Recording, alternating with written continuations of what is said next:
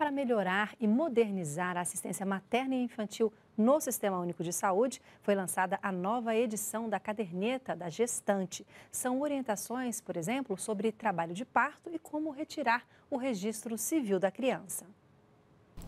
Um instrumento importante para acompanhar o pré-natal, toda a gestação, o parto e os primeiros meses depois do nascimento do bebê.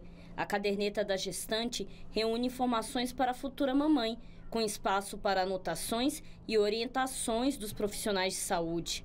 Agora, a sexta edição da caderneta da gestante passou por atualizações que levam em conta a segurança, qualidade e humanização do atendimento. Mais de 3 milhões de exemplares da caderneta serão distribuídos para as secretarias de saúde dos estados. O material vai ser passado para os municípios, que vão entregar as cadernetas para os serviços de atenção primária à saúde, que, por sua vez, repassam às gestantes. Trazemos orientações importantes sobre trabalho de parto, como a gestante pode identificar ainda em seu domicílio que começou aquele momento e procurar a sua assistência de forma segura, tem informação de como retirar o registro civil da criança. O investimento é de cerca de 5 milhões e 700 mil reais. A nova edição conta com mudanças nas curvas de acompanhamento do ganho de peso das gestantes e espaços de preenchimento dos dados de exames e vacinas. Há também informações sobre alimentação saudável, pré-natal odontológico e saúde bucal na gestação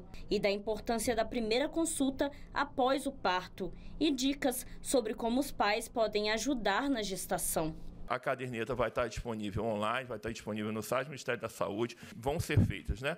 mais de 3 milhões de cadernetas. O Brasil tem uma média de 3 milhões de partos é, é, por ano, um pouquinho menos ou um pouquinho mais.